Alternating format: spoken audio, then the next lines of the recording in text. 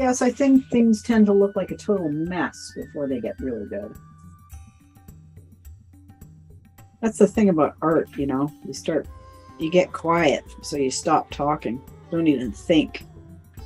Now, Leslie, do you think that we're so time conscious in our world of um, hyper perfectionism Mhm. and achievement? Do you think that to a certain degree, one of the reasons people don't want to engage in creativity is because they're afraid of not just failure, but wasting time? Yeah, Yeah.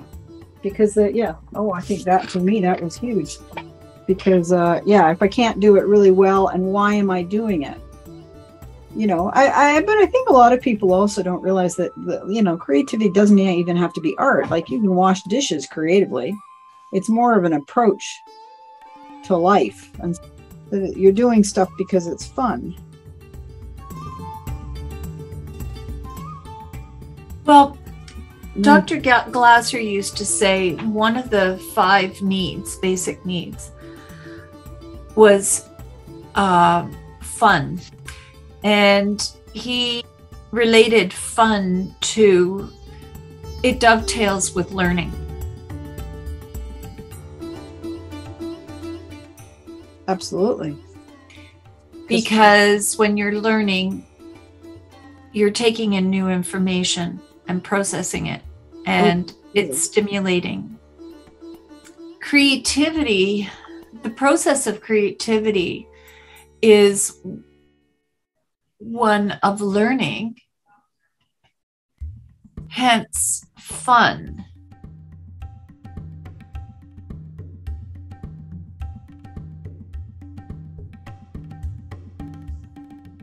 And ha- coming back to the our point about how our feelings have shifted and changed by just engaging in this Mm. Yep. then we've got the healing taking place Centering. Getting there, it needs to dry and then add other highlights. while you've been painting i've just been playing with perspective Perspective and stuff. Yeah, sure. and a dot yeah. Balls or dots dots Cool.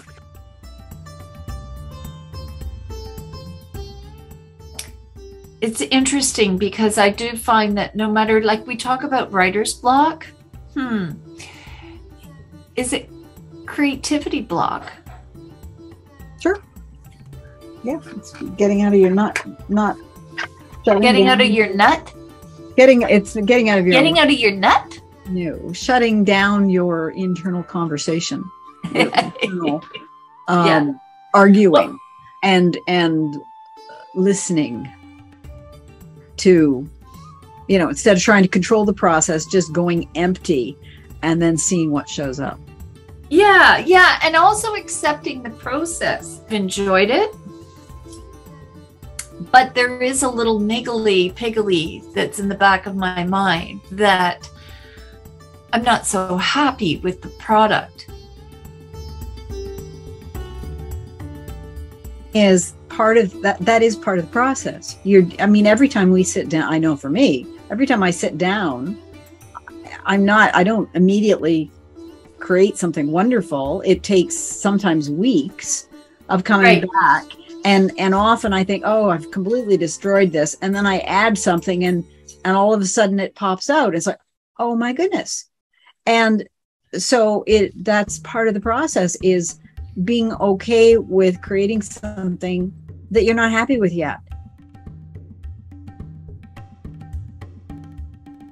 And it's judgment. We all have this nasty little judge inside us um, that we judge. We judge ourselves. We judge other people. We judge situations. We judge ourselves, good, bad. And bottom line is, who knows? it's an old story. Who knows what is good? Who knows what is bad? um, because sometimes good things come out of bad things. If bad things hap- didn't happen, you wouldn't have had the good thing. Um, so that judge is a is something that that yeah we have to learn to identify. You're never going to get rid of them ever. It's part of the process. You develop them when you're kids, but but to be able to say, ah, it's my judge